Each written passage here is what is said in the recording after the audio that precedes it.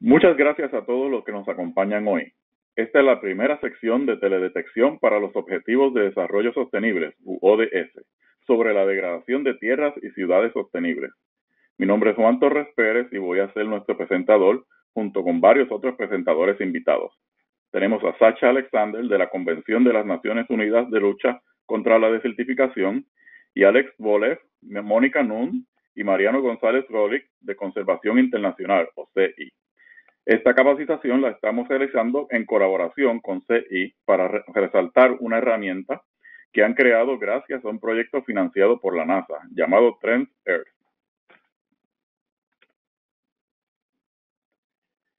Esta capacitación comprende de tres sesiones de una hora y media los días 9, 16 y 23 de julio. Note que solo necesita asistir a una sesión por día.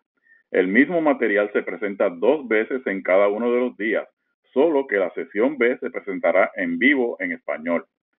Puede encontrar todo el material del curso en esta página web. Esto incluye grabaciones de sesiones anteriores, enlaces a datos y la tarea tanto en inglés como en español.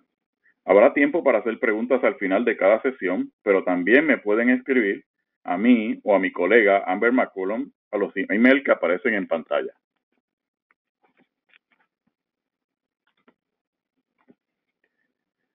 Habrá una tarea adicional que estará disponible en la página web del curso. Para poder recibir crédito por la tarea, debe enviar todas sus respuestas vía Google Form. El plazo para enviar la tarea será hasta el 6 de agosto, o sea, dos semanas después que se termine el curso. Para recibir un certificado de finalización, debe asistir a las tres sesiones en vivo y completar la tarea. Recuerde, procesar estos certificados requiere algo de tiempo, así que puede anticipar recibir el suyo aproximadamente dos meses después de la conclusión del curso.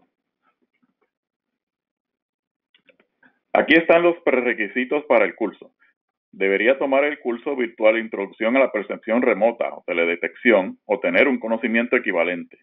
También debe, descargar e instalar QGIS versión número 3 o mayor. En caso contrario, la herramienta Trends Earth no funcionará, Así que esto es sumamente importante. Por favor, refiérase al enlace que aparece en pantalla para cualquier pregunta sobre QGIS, cómo instalar QGIS. También deberá descargar, instalar y registrar el software de Trends Earth en este enlace.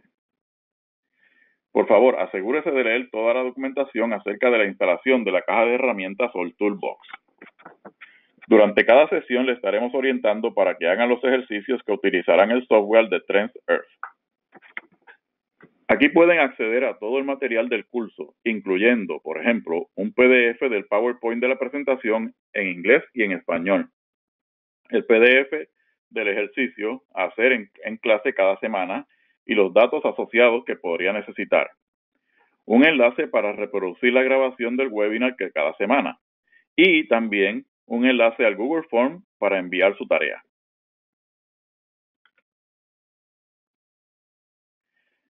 Este es el esquema general del curso. Las dos primeras sesiones se enfocarán en el ODS 15 o vida terrestre y la última sesión se enfocará en el ODS número 11, lograr que las ciudades y los asentamientos humanos sean inclusivos, seguros, resilientes y sostenibles, enfocándonos en la parte sostenible. Hoy vamos a dar un breve resumen de lo que son ARCET y los ODS y luego nos enfocaremos en las metas y los indicadores del ODS número 15. Después, nuestro primer presentador invitado, Sacha Alexander, hablará sobre el indicador del ODS 15.3.1 y los mecanismos de información. A continuación, Alex y Mónica harán una presentación sobre Trends Earth. Finalmente, haremos un ejercicio utilizando datos por defecto en Trends Earth. El programa ARCET es parte de la División de Ciencias Aplicadas de la NASA, donde promovemos los esfuerzos para descubrir y demostrar aplicaciones innovadoras y prácticas de las observaciones de la Tierra. Dentro de la División de Ciencias Aplicadas tenemos el sector de fomento de capacidades, el cual procura empoderar a la comunidad global a utilizar y aplicar estos datos y herramientas. Aquí es donde entra ARCET y nos enfocamos en las áreas temáticas que pueden ver en, la pantalla. Como muchos de ustedes ya saben, el programa ALCET se enfoca principalmente en capacitaciones de teledetección para formuladores de política, gestores ambientales y otros profesionales en los sectores público y privado en los ámbitos de la calidad de aire, tierra, suelos, desastres y agua. ALCET viene realizando capacitaciones desde el año 2009 y esta figura muestra los tipos de capacitaciones con los puntos coloreados de diferentes tamaños, indicando el número de participantes. Puede ver cómo el programa realmente ha crecido en este último par de años. Aquí también podrá notar que, tenemos capacitaciones enfocadas en los ODS. De hecho, tenemos una página entera en nuestro sitio web dedicada a las capacitaciones que tratan directa o indirectamente con los ODS, la cual mostramos aquí. Puede encontrar cada ODS en la lista y una capacitación ALCET asociada, como por ejemplo nuestro resumen del ODS 15 y nuestro webinar de la calidad de aire para los ODS. Como la mayoría de ustedes ya saben, los ODS se desarrollaron para poner al mundo en un camino hacia el desarrollo sostenible a través de la adopción de la Agenda 2030 para el Desarrollo Sostenible. Los objetivos forman un marco para las personas, el planeta, la, prosperidad, a ser implementado por los países y partes interesadas, actuando en una asociación colaborativa. Hay 17 ODS acompañados por 169 metas. Las metas se categorizan como aspiracionales y globales, con cada gobierno fijando sus propias metas nacionales guiado por el grado de ambición a nivel, a nivel mundial, pero tomando en cuenta sus circunstancias nacionales. Cada meta y objetivo es acompañado por un conjunto de indicadores y un marco de seguimiento. Hay una variedad de organismos involucrados en los ODS, con los principales siendo parte de las Naciones Unidas, como la División de Estadísticas de la ONU, la Convención de Lucha contra la Desertificación, o CNULD, la cual mencionamos, la Red de Soluciones para el Desarrollo Sostenible y la FAO. Algunas de las, otras organizaciones se muestran aquí, como el Instituto Internacional para el Desarrollo Sostenible o IISD, el Grupo de Observaciones de la Tierra o GEO y la Alianza Global de Datos para el Desarrollo Sostenible, así también como varias organizaciones sin fines de lucro como CEI, que han estado involucradas en la creación de herramientas para tratar estos temas. Además, hay muchos otros ministerios y oficinas de estadísticas de otros países que trabajan para poder avanzar hacia el cumplimiento de estos objetivos. El IISD creó el portal informático sobre los ODS SDG Knowledge Hub, el cual se muestra aquí. Es un centro de recursos en línea para noticias y comentarios sobre la implementación de la agenda. También puede encontrar información sobre las organizaciones involucradas y los sucesos a nivel regional. La Comisión de Estadísticas de las Naciones Unidas tiene una base mundial de datos de indicadores de los ODS. Dicha base de datos informa metadatos sobre las metodologías que se utilizan para evaluar los indicadores. Así que puede darle una mirada a los datos enviados por diferentes países en el mundo entero para los indicadores específicos que usted ve aquí. El GEO es una asociación de instituciones gubernamentales, instituciones académicas y de investigación, proveedores informáticos, empresas, ingenieros, científicos y expertos que anhelan integrar observaciones de la Tierra a las decisiones y acciones en beneficio de la humanidad. Para los ODS, la iniciativa del GEO es organizar y realizar el potencial que tienen las observaciones de la Tierra y la información geoespacial para lograr los objetivos. La FAO trabaja para conseguir la seguridad alimentaria y viene apoyando a las personas encargadas de tomar decisiones para poder formular la Agenda 2030. Hay 14 áreas temáticas en las que la FAO contribuye conocimiento técnico para estos objetivos. Puede encontrar más información en la página web que aparece en pantalla. Durante esta capacitación nos enfocaremos en dos de los ODS, el 15 y el 11. El ODS 15 se enfoca en la preservación de, diversas formas de vida terrestre y requiere campañas dirigidas para proteger, restablecer y promover la conservación y el uso sostenible de los ecosistemas terrestres y otros. El objetivo número 15 se enfoca en gestionar sosteniblemente los bosques, luchar contra la desertificación, detener e invertir la degradación de las tierras y detener la pérdida de biodiversidad. Todos estos esfuerzos en combinación procuran asegurar que las generaciones futuras puedan gozar de los beneficios de los ecosistemas terrestres, incluso empleos sostenibles. El ODS número 11 se enfoca en ciudades sostenibles. Hoy, más de la mitad de la población mundial vive en ciudades. Se estima que para el año 2030, 6 de cada 10 personas serán habitantes urbanos. A pesar de los numerosos retos en cuanto a la planificación, las ciudades ofrecen economías de escala más eficiente en muchos aspectos, incluyendo la provisión de bienes, servicios y transporte. Así que estas regiones son importantes para poder impulsar el desarrollo sostenible. Mediante imágenes satelitales, podemos mapar las ciudades, especialmente su crecimiento y su expansión. También podemos monitorear la calidad del aire de las ciudades, lo cual es parte del ODS número 11. Pero aquí solo nos vamos a enfocar en el mapeo de áreas urbanas. Por ejemplo, aquí tenemos una imagen de Landsat de la ciudad de Nueva York. Para evaluar el éxito de los objetivos y las metas de las ODS se utilizan indicadores. Los indicadores son el pilar fundamental del monitoreo del progreso hacia los ODS a nivel nacional, regional y mundial. Un marco confiable de indicadores convierte los ODS y sus metas en una herramienta de gestión para ayudar a los países a desarrollar estrategias de implementación y asignar recursos adecuadamente. También es una especie de boleta de calificaciones para medir el progreso. Cada nivel de seguimiento requiere diferentes tipos de indicadores, los cuales se escogen para cada país en base a un diálogo con las oficinas nacionales de estadísticas. en esta capacitación nos enfocaremos en la meta 15.3 y el indicador 15.3.1. La meta 15.3 propone para el año 2030 luchar contra la desertificación, rehabilitar las tierras y los suelos degradados, incluidas las tierras, afectadas por la desertificación, la sequía y las inundaciones, y procurar lograr un mundo con una degradación neutra del suelo. La degradación del suelo es la disminución o pérdida de la productividad biológica o económica y la complejidad de tierras de cultivo pluviales, tierras de cultivo irrigadas o praderas o pastizales, bosques y tierras forestales debido a los usos del suelo o por causa de algún proceso o combinación de procesos surgiendo de actividades humanas.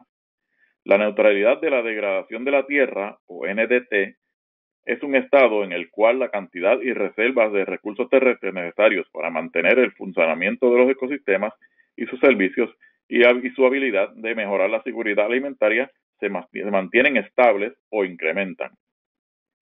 Para lograr la NDT, será necesario evitar o reducir la degradación nueva y restablecer y rehabilitar tierras que sufrieron una degradación en el pasado. Los objetivos de la NDT son los siguientes. Preservar o mejorar la proporción sostenible de los servicios ecosistémicos, preservar o mantener la productividad para mejorar la seguridad alimentaria, aumentar la resiliencia de la tierra y las poblaciones que dependen de ella, buscar sinergias con otros objetivos sociales, económicos y ambientales y reforzar la gobernanza responsable e inclusiva de la tierra. El indicador 15.3.1 se refiere a la proporción de tierra degradada sobre la superficie total. Hay varios subindicadores como cobertura terrestre y cambios en la cobertura terrestre, productividad de la tierra y reservas de carbono sobre el suelo y bajo el suelo, que son reconocidas por la ONU como métricas idóneas para monitorear esta meta. Las áreas con una productividad y reservas de carbono en, disminución pueden considerarse como degradadas, mientras que las áreas con una productividad y reservas de carbono crecientes se consideran que están mejorando. Como vamos a delinear en esta serie, los datos para medir estos subindicadores pueden proceder de varias fuentes, incluyendo observaciones satelitales, para detectar bases de referencia, cambios y derivar cuáles son las áreas que se están siendo degradadas. Para poder calcular estos subindicadores existen varias necesidades informáticas. Estas incluyen la necesidad de conjuntos de datos mundiales para una presentación de informes estandarizada a lo largo de países y regiones. También incluyen la guía de buenas prácticas para medir e informar hallazgos y además normas para países específicos. Uno de los conjuntos de datos mundiales es de cobertura terrestre. Se puede obtener de la Agencia Espacial Europea, o ESA, como en este mapa que, mostramos en la pantalla, la ESA tiene una iniciativa para el cambio climático, CCI, por sus siglas en inglés, enfocada en responder de manera adecuada, comprensiva y puntual a la lista de requisitos para productos satelitales para el clima a largo plazo. Como parte de este proyecto, la CCI de la SA genera ese conjunto de datos mundiales sobre la cobertura terrestre.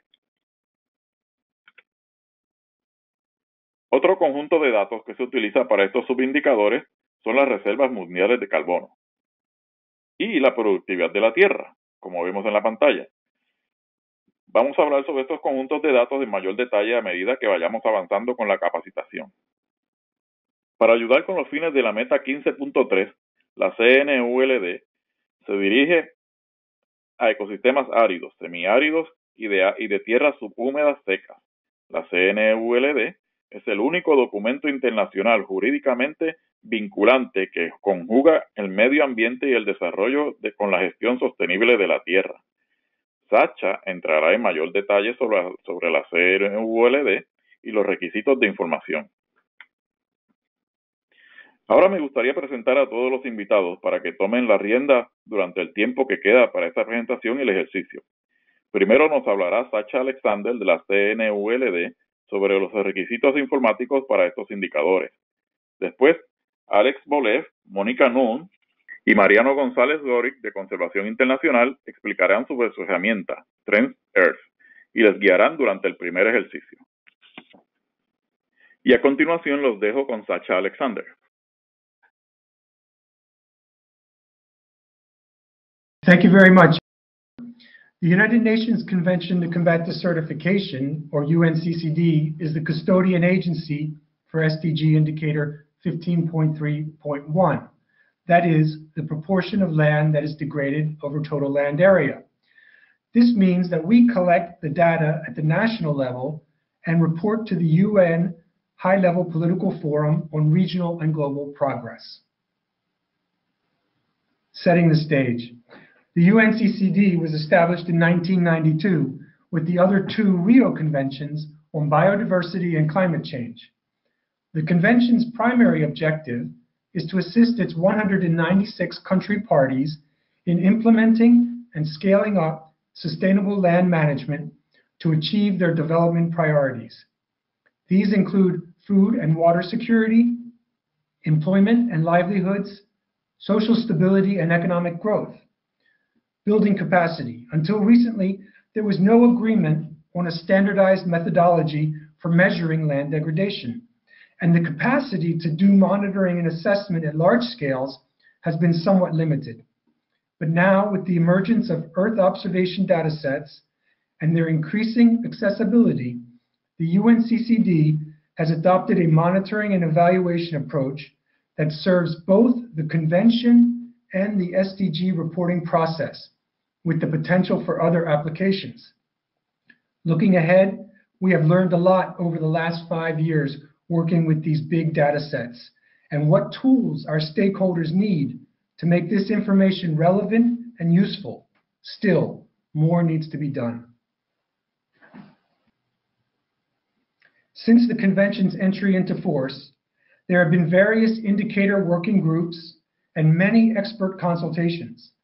But with the adoption of the 10-year strategic plan in 2008, countries agreed to an overall monitoring framework. Then, in 2013, there was a decision to adopt six mandatory indicators, provided that there were adequate global data sets available. These include the three land-based biophysical indicators, land cover, land productivity, and carbon stocks, now being used for UNCCD reporting and SDG indicator 15.3 1.1.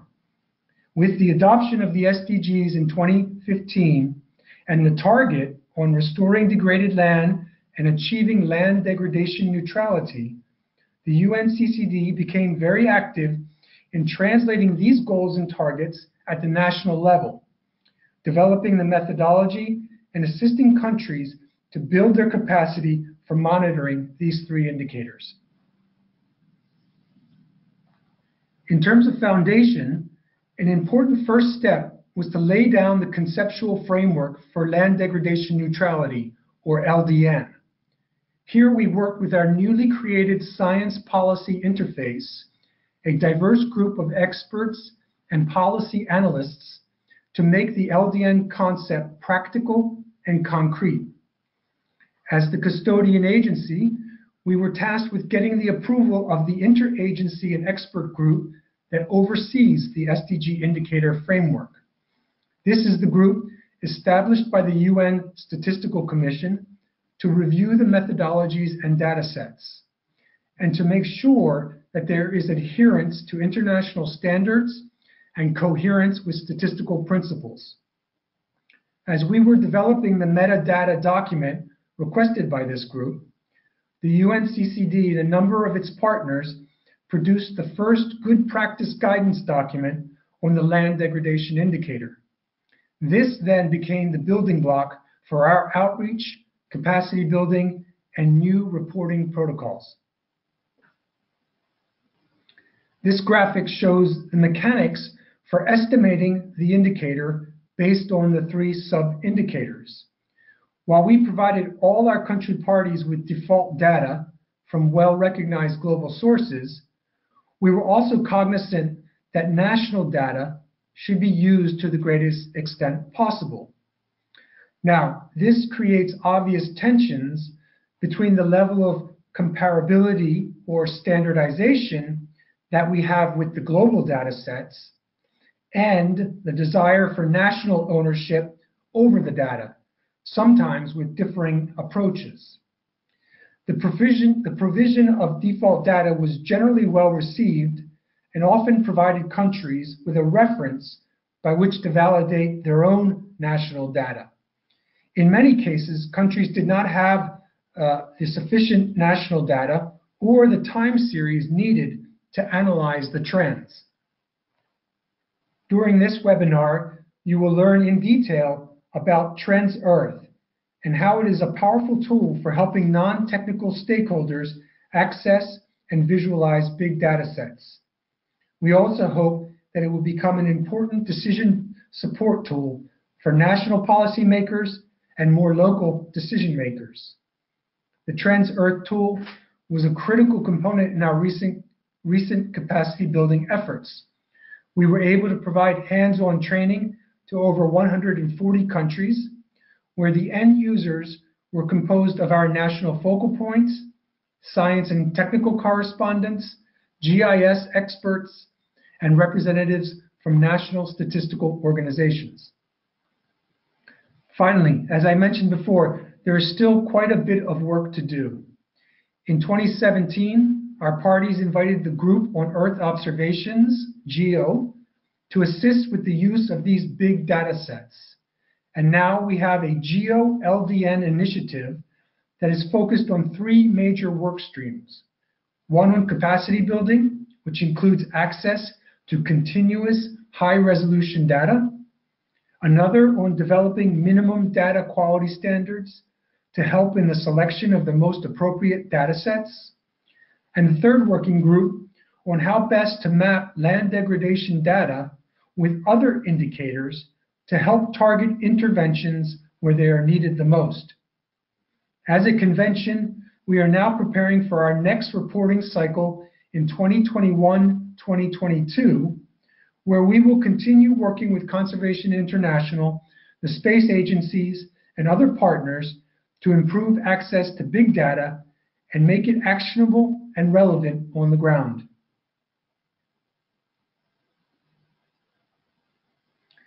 I thank you for your attention and conclude here with a couple of links to more information.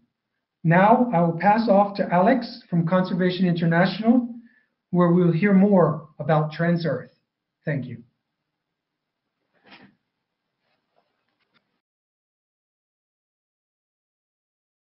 Bueno, muchas gracias Sasha por la introducción. Hola a todos, eh, mi nombre es Mariano González Roglich, soy director de análisis de ecosistemas en Conservación Internacional, que es una ONG de conservación basada en Estados Unidos, pero que, que trabajan en los trópicos principalmente. Y de lo que voy a estar hablando yo en particular es de una herramienta que desarrollamos acá en CI que se llama Trends.earth, que es una herramienta para el monitoreo de degradación de tierras.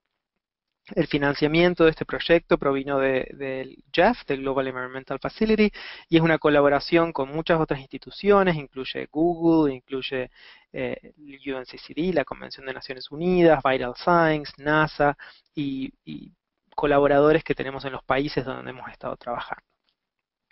Esta herramienta permite hacer distintos tipos de análisis, en lo que me voy a centrar hoy es en la funcionalidad del Objetivo de Desarrollo Sustentable 15.3.1. Eh, Earth permite hacer el monitoreo de, la condición de tierras degradadas y permite identificar las líneas de base que van a permitir a los países eh, identificar las áreas prioritarias de intervención y también permite hacer el monitoreo del progreso. Una vez que los, que los países o las regiones han decidido eh, cómo restaurar estas tierras, permite, esta herramienta permite que uno monitoree el progreso. Y lo hace a través de proveer los mejores, eh, los datos mundiales de mejor calidad que existen, datos de imágenes satelitales, otros producidos con combinaciones de datos de campo, y también permite el utilizar información local que tengan disponibles los países para hacer este tipo de evaluaciones. Y lo que permite hacer es, eh, como explicó Sasha, el, Objetivo de Desarrollo Sustentable 15.3.1 tiene tres subindicadores.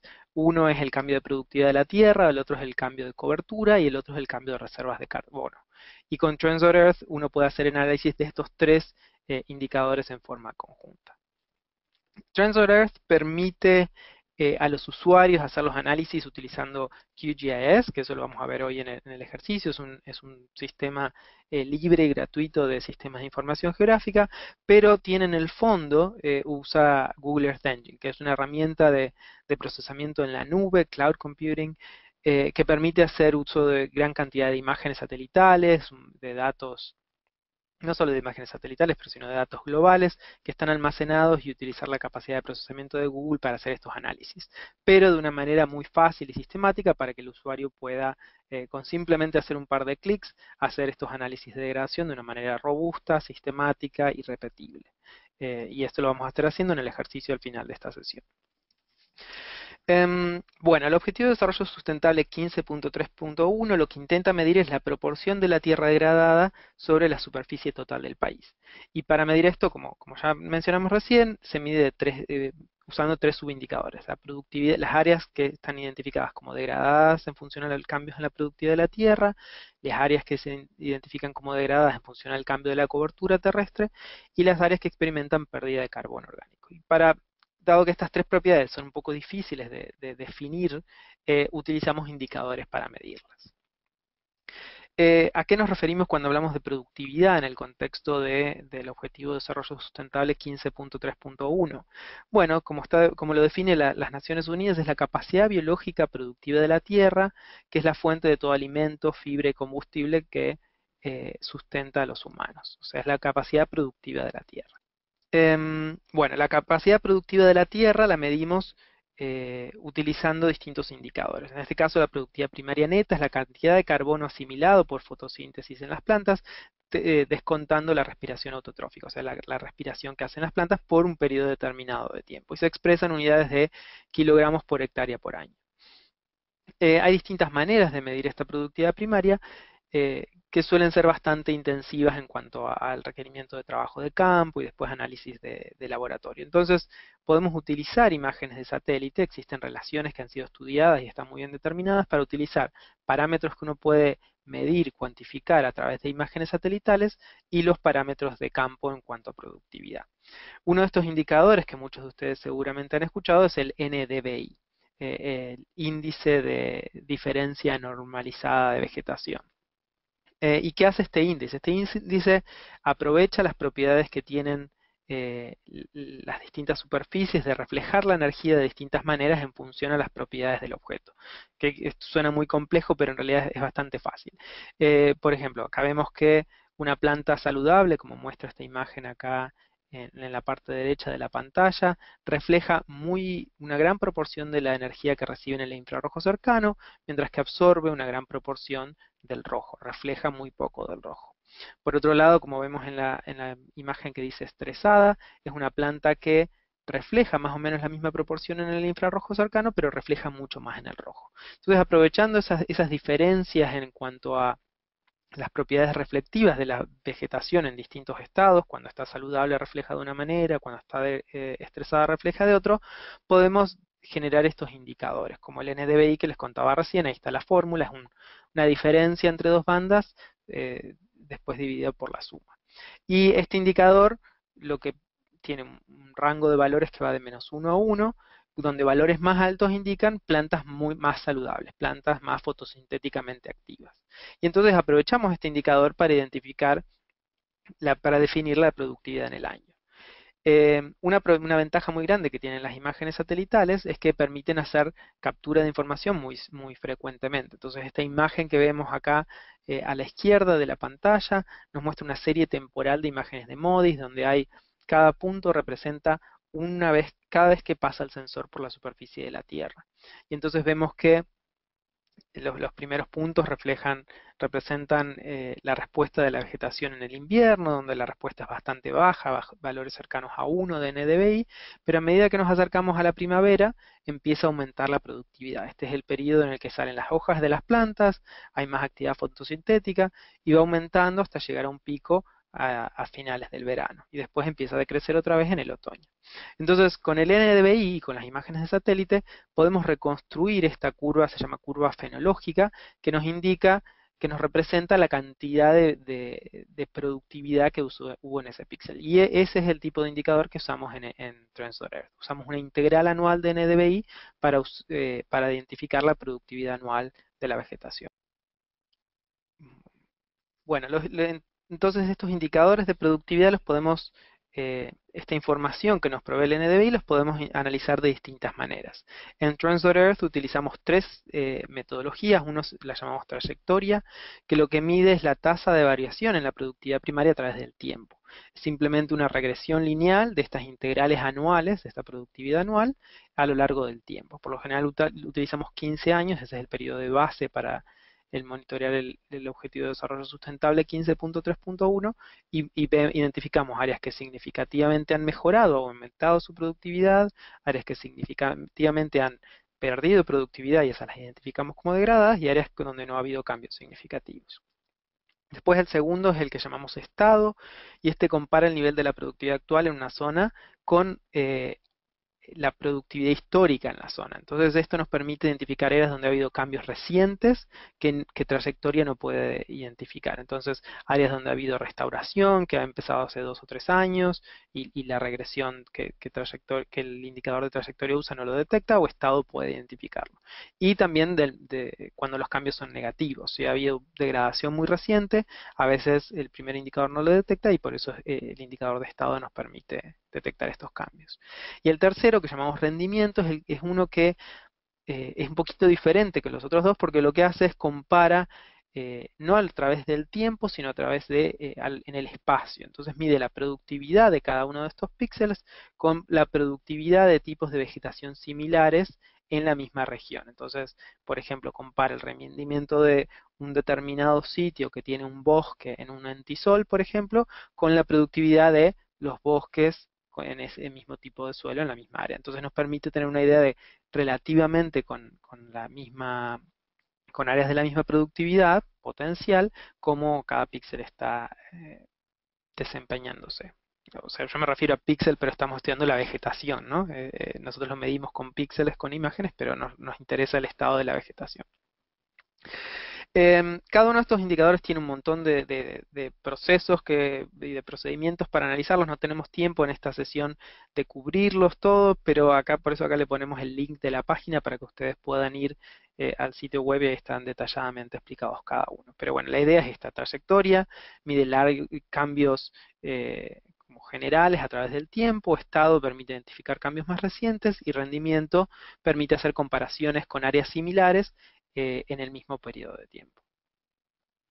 Y cuando combinamos esos tres indicadores, obtenemos un indicador de productividad integral. O sea, nosotros no tenemos que preocuparnos por interpretar cada uno por separado, sino que en la herramienta los integramos y obtenemos esta productividad con cinco clases, donde áreas en verde oscuro indican que hay eh, a lo largo del periodo de análisis, y esto lo vamos a ver en el tutorial al final de la sesión, ha habido un aumento significativo en la productividad, mientras que áreas de verde claro indica estable y no ha habido cambios en ninguna de las dos direcciones, y después tenemos áreas donde la productividad es estable pero ha habido cierto estrés, entonces puede indicar áreas donde tenemos que prestar atención porque puede estar empezando la degradación, áreas con signos de degradación eh, incipientes y después áreas donde ahí sí hay, eh, declinación de la productividad significativa.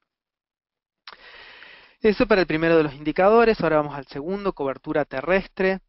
Em, y acá lo, cobertura terrestre es un poco más, más intuitivo y más familiar para todos ustedes. Se me ocurre si han trabajado con imágenes satelitales. Cuando hablamos de cobertura terrestre nos, referimos a cambios en el carácter biofísico observado en la superficie de la Tierra. Entonces, por lo general hablamos de transiciones en el tipo de cobertura.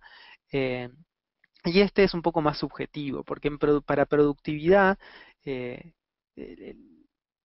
lo que nosotros suponemos es que aumentos de productividad es algo bueno y, disminución de la productividad es malo. O sea, ese es como el, paradigma que estamos siguiendo en función a estos, eh, cómo estos indicadores se fueron desarrollados. Para cobertura terrestre, eh, los cambios de cobertura son más subjetivos y, tienen más, eh, necesitamos información contextual para poder interpretarlos. Y eso es algo importante que tenemos que tener en cuenta cuando estamos analizando, realizando los análisis en Trends Em, y ahora en un segundo les voy a explicar cómo. ¿Qué, tipo de información necesitamos para, analizarlo? Bueno, necesitamos un mapa inicial, el mapa que vamos a usar de referencia, y después un mapa final. En este ejemplo tenemos a la izquierda un mapa del año 2001 y después uno del 2015. Combinamos esos dos mapas, generamos un mapa de transición. Este mapa nos va a decir, bueno, qué píxel o qué área cambió de bosque a pastizal, de pastizal a agricultura, de agricultura a urbano. Pero después necesitamos una, matriz de transición, una, matriz que nos indique cuál es el criterio que vamos a usar para definir si cada una de estas transiciones es buena o es mala, si es degradación o no. Y ahí es donde yo les decía recién que es un poco más subjetivo y donde uno tiene que realizar, realmente tener en cuenta las condiciones del lugar en el que está realizando el análisis para interpretar esta, eh, para definir estos criterios.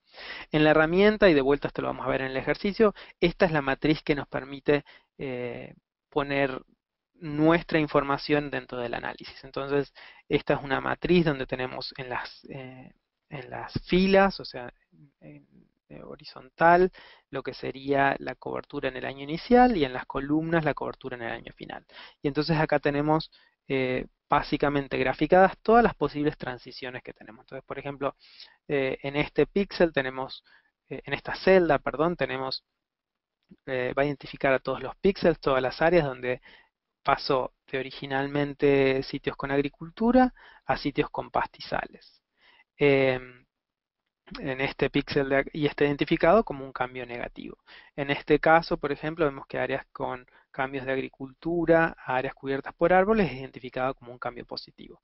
Pero en la herramienta uno puede cambiar esto. Simplemente vamos a hacer clic en cada una de estas celdas y uno puede cambiarlo eh, para que el, análisis final represente las condiciones eh, y la evaluación que uno hace del área.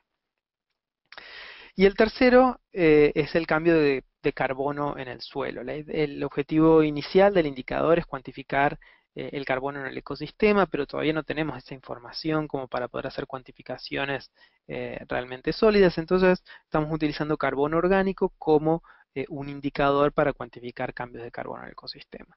¿Cómo hacemos eso? Ah, me adelanté un poquito. Eh, ¿A qué nos referimos con cambio de carbono en el suelo? Bueno, las reservas de, carbono reflejan la, integración de varios procesos que afectan el crecimiento de las plantas eh, y los aumentos o las disminuciones en la materia orgánica. Eh, y como les decía recién, la medida que utilizamos es el cambio de carbono orgánico en el suelo. ¿Cómo hacemos para cuantificar esto en, en Earth? En la herramienta lo que necesitamos es un mapa inicial de carbono orgánico, en este caso usamos por defecto uno producido por ISRIC, que es el Instituto de Suelos. Instituto Internacional de Suelos, y después una serie temporal de imágenes satelitales. En este caso, por defecto, usamos eh, las producidas por la Agencia Espacial Europea, pero ustedes pueden cambiar esto en la herramienta si, si. Entonces con esta información lo que tenemos es una serie temporal de cobertura y después lo que usamos es una serie de factores de conversión que nos permiten eh, convertir esos cambios de cobertura en cambios de stocks de carbono. Entonces, por ejemplo, esta transición representa píxeles que en el año 1 eran pastizales, pastizales, pastizales, o sea, a medida que va pasando el tiempo, cada barra representa un año, eh, indica una transición, acá en el año 5 cambió de pastizal a agricultura, cambió de clase. Entonces esta matriz de transición, en este caso, en este ejemplo, nos indica que cuando un píxel, cuando la superficie terrestre cambia de agricultura a pastizal, empieza un proceso de pérdida de carbono orgánico. Y eso es basado en, la literatura, en lo que sabemos. Sabemos que cuando un, suelo que está en un pastizal empieza a ser laborado por agricultura, se empieza a perder carbono orgánico. Em, y después identificamos la degradación como áreas donde la pérdida de carbono orgánico es mayor a 10% del carbono orgánico eh, original. Bueno, como les comentaba recién, para estimar el carbono final lo que necesitamos es una, una, variable, necesitamos información sobre el, carbono orgánico de referencia, para eso nosotros usamos ISRIC. Em, y después tenemos esta serie de factores que les comentaba que indican eh, cómo vamos a cuantificar el cambio en carbono orgánico en función a los cambios de cobertura. Uno de estos factores es el de uso del suelo, eh, el segundo es el de manejo y el tercero es el de insumos. Em, esto es siguiendo las guías del IPCC que recomienda estos factores. Eh, en la realidad, como para hacer este tipo de análisis necesitamos información espacialmente explícita, necesitamos mapas que representen cómo varían estos parámetros para toda la superficie de la Tierra. En la práctica es que solo tenemos información sobre cobertura de la Tierra, ni siquiera sobre uso, como para poder analizar estos cambios. Entonces nosotros estamos utilizando estos factores, estos eh, mapas de cobertura para informar el uso y en función a eso eh, hacerlos, estimar el carbono orgánico final para el análisis. Eh, estos factores que les comentaba de uso, estamos utilizando de vuelta las recomendaciones del IPCC y estos factores de, uso varían en función al clima. Entonces este no es un parámetro que, el usuario pueda cambiar en la herramienta, pero es para que ustedes sepan que eh, estamos utilizando distintos factores en función eh, a las regiones donde estás corriendo el análisis. Esto es algo que la herramienta hace por defecto, pero para que ustedes sepan que un, cambio de cobertura de por ejemplo, un bosque agricultura tiene distintos factores de conversión en distintas regiones porque los cambios en el carbono orgánico van a ser diferentes en las distintas regiones. Bueno, les conté los, tres indicadores, ahora nos falta el proceso de, combinar estos tres indicadores en lo que sería eh, el objetivo de desarrollo sustentable 15.3.1. Y lo que utilizamos es lo que en inglés llaman el one out, all out, que es si, uno, si, si un indicador indica degradación, entonces eh, el indicador final tiene que indicar degradación. Y esto es lo que trata de representar esta tabla acá.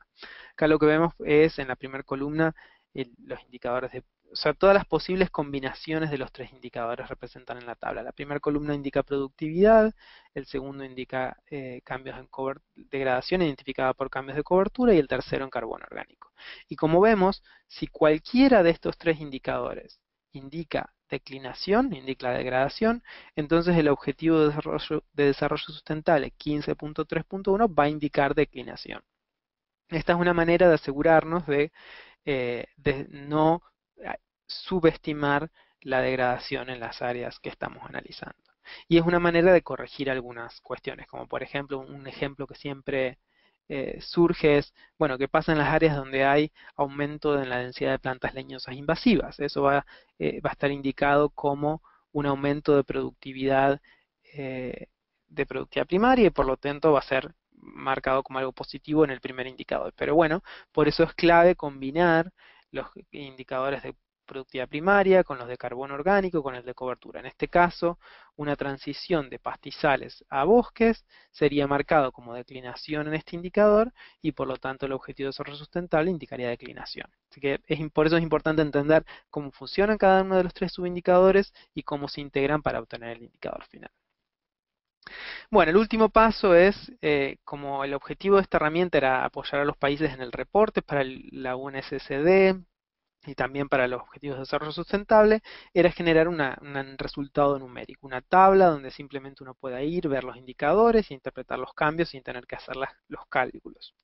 Así que eso es lo que vemos acá, es el último paso de la herramienta que lo vamos a ver hoy, que es producir un Excel muy fácil para que cualquiera pueda ver el área degradada en el área de estudio y después hay distintas pestañas acá abajo donde, donde rompemos un poquito, vamos desarmando los indicadores como para el que esté interesado pueda estudiar, eh, analizar qué significan estos cambios eh, en más detalle. Bueno, eso es todo lo que tenía para presentarles en esta parte. Eh, acuérdense el nombre del plugin, Earth La página figura ahí, Earth es también el nombre de la página y después tenemos un servicio de mapas, se llama maps.trans.earth y ahí pueden ir a, ver algunos de los indicadores globales que, hemos corrido. Así que eso es todo para la primera parte y ahora vamos a, al ejercicio, a correr algunos análisis con la herramienta.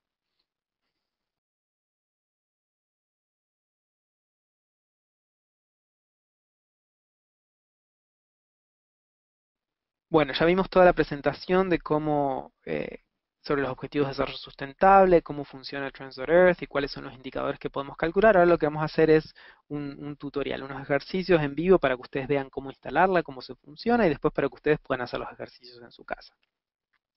Eh, QGIS es un programa gratuito que ustedes pueden descargar, es un sistema de información eh, geográfica que ustedes pueden descargar gratuitamente e instalar.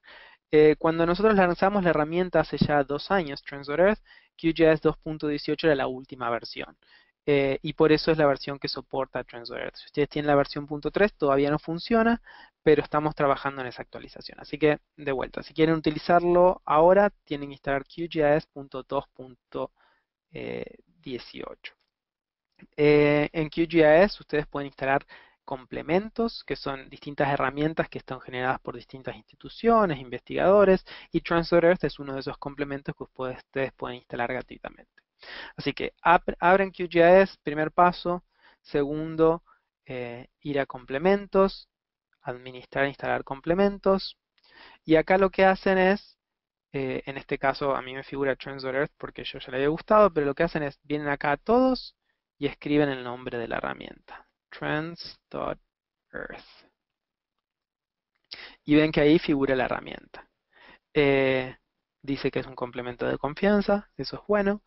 Eh, y lo que vamos a hacer es instalar eh, el complemento. Así que hacemos clic en instalar. Por supuesto, para este paso tienen que estar conectados a internet. Va a tardar unos segundos, va a bajar el complemento y se va a instalar en QGIS para que ustedes puedan correr los análisis. Eh, este paso solo lo tienen que hacer la primera vez, una vez que Earth esté instalado y ya esté disponible en su computadora, no lo van a tener, ya pueden correr la herramienta eh, sin tener que hacer este paso. Ahí está instalándolo y ahí terminó. Ah, no, todavía no, está la herramienta, ahí está. El complemento se instaló correctamente, así que quiere decir que ya está listo para utilizarse. Cerramos esta ventana y vemos que apareció Transit Earth acá. Estos iconos, esta barra con iconos en negro es Transit Earth.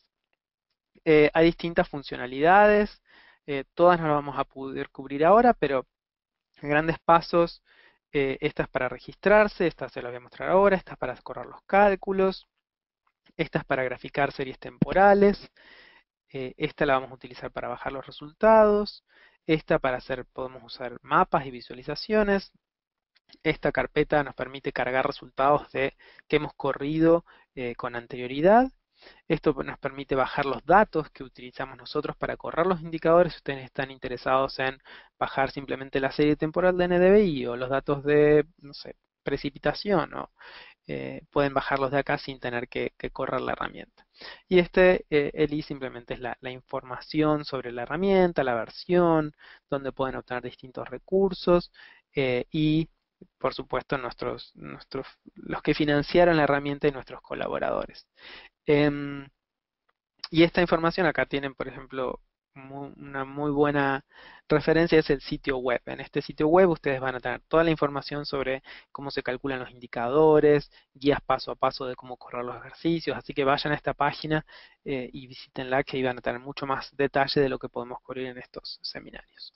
Bueno, una vez que instalaron la herramienta, el primer paso es venir acá a eh, la llave y lo que tenemos que hacer es registrarnos. Entonces hacemos clic ahí, ponemos el correo electrónico, nombre, organización y el país y mandamos esta, esta información.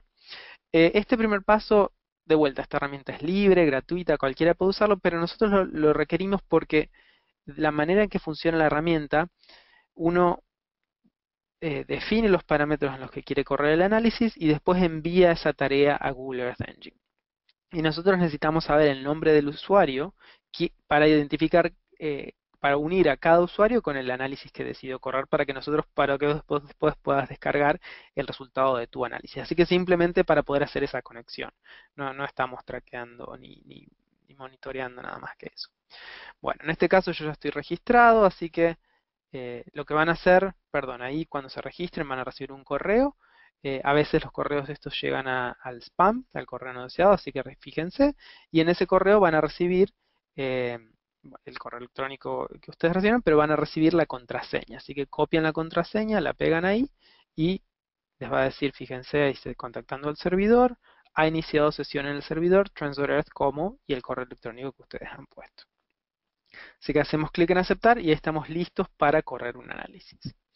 En este tutorial lo que vamos a hacer es eh, correr lo que nosotros llamamos el indicador por defecto.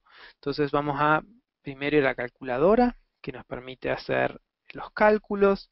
Y acá vemos que, eh, acá, acá, tenemos algunos, nos, falló un poco la traducción, perdonen por eso, pero tenemos eh, las distintas funcionalidades que tiene Transfer Earth. Eh, la primera es el indicador 15.3.1, que es el que estamos cubriendo en esta sesión. Después tenemos el indicador 11.3.1, que se lo vamos a cubrir en la tercera sesión.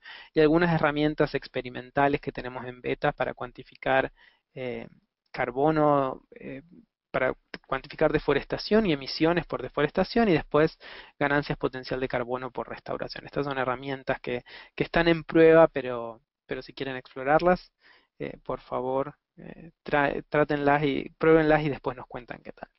Bueno, volviendo a degradación, hacemos clic en 15.3.1 y acá vemos que hay distintas opciones. Para todos los análisis lo que hay que correr siempre es un paso 1 que es preparar los subindicadores, esto que les comentaba en la presentación, y después el segundo paso, que es el paso 2, que es correr eh, la integración de esos indicadores. Es, básicamente esa tabla que les mostraba con el eh, uno afuera, todos afuera, bueno, es lo mismo, pero en, en sistema de información geográfico. Acá en esta sesión vamos a correr cómo calcular los tres indicadores en un paso, cambios de productividad, cambios de carbono orgánico, cambio de cobertura. En la sesión que viene vamos a ver cómo correr algunos de esos indicadores utilizando los datos que por ahí ustedes tienen eh, a nivel nacional, datos de cobertura, de carbono orgánico y después cómo se hace para integrarlos. Así que en este ejercicio vamos a correr todos los indicadores con los datos globales, como para que ustedes vayan familiarizándose con la herramienta.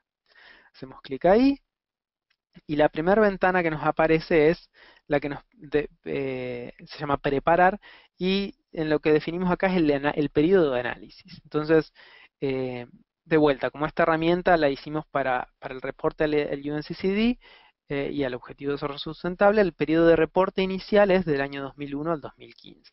Ustedes acá podrían cambiarlo al 2016, 2017, pero en este caso lo vamos a dejar por defecto. Lo que sí vamos a hacer es cambiar acá productividad a los indicadores de productividad de Transfer Earth, que son los tres que le comentaba, trayectoria, estado y desempeño. Em, rendimiento, perdón. Y mm, esta es otra opción que son datos producidos por Research Commission, el Joint Research Commission de la, Unión Europea, pero para este ejercicio vamos a usar el de Transfer Earth. Y de vuelta, todos estos detalles están explicados en el website, así que por favor vayan a chequearlo si tienen dudas. Periodo de análisis 2001-2015, productividad de la Tierra, siguiente.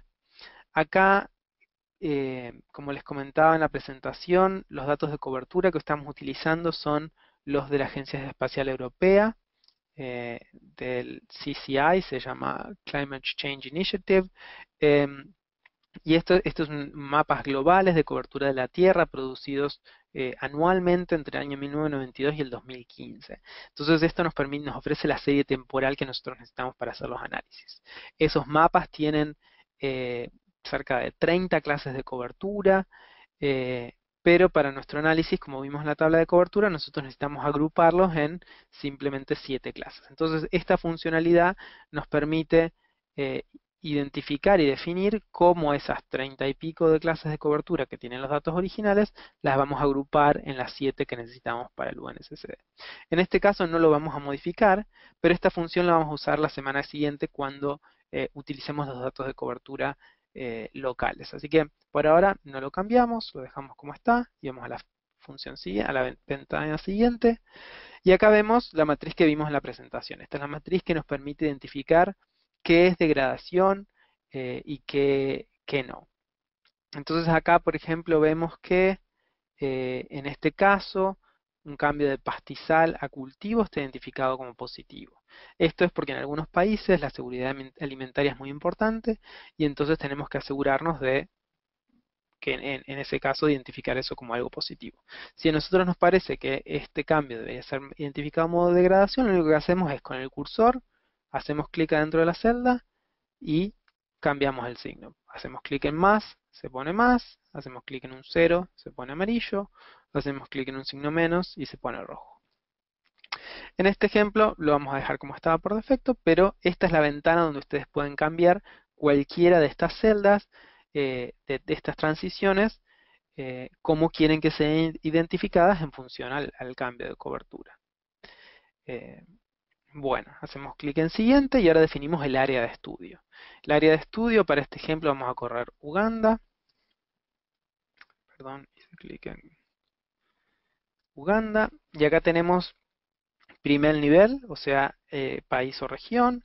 Después podemos elegir dentro de Uganda distintas provincias. En este caso lo vamos a dejar como todo el país. También podemos elegir ciudades. En este, para este indicador no tiene mucho sentido ciudades, pero para el el del indicador 11.3.1 de ciudades sustentables, ahí vamos a usar el de ciudades. Y en muchos, hay muchas, eh, a veces a uno le interesa correr un análisis no, no en una región eh, con un límite político determinado, sino que puede ser un área protegida, un área con una región biogeográfica. Entonces en la herramienta tienen la función de hacer clic en desde archivo, áreas de archivo, y elegimos acá el archivo que nos interesa. Este archivo puede ser un KML, puede ser un shapefile, eh, así que la herramienta no está limitada solo a las áreas que nosotros definimos.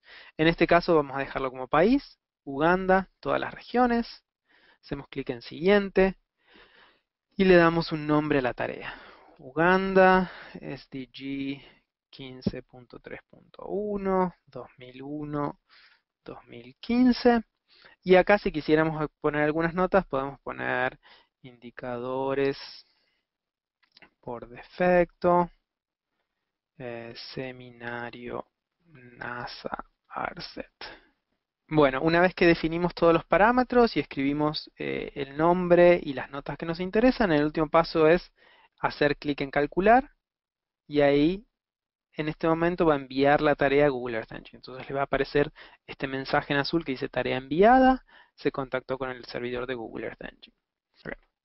Eh, entonces una vez que mandamos la herramienta al servidor, vamos a tardar unos minutos, depende del área, puede tardar 5 o 10 minutos, em, y ustedes van a recibir un correo electrónico eh, en su cuenta indicando que la tarea ha terminado. Yo les puedo mostrar en, en mi correo electrónico, por ejemplo, Ven que acá hay un correo que dice tarea terminada, API don't transfer Earth, y acá reciben un resumen de la tarea eh, y eh, ahora podemos ir a la herramienta para bajarla. Así que esto es para que no tengan que estar continuamente chequeando la herramienta de QGIS, sino que pueden irse a hacer otra cosa, chequear el correo y cuando termina está. Igual los análisis son rápidos. Vamos a ver que, por ejemplo, este que mandamos a las 13 eh, hace unos minutos, tardó 6 minutos en correr, así que es rápido.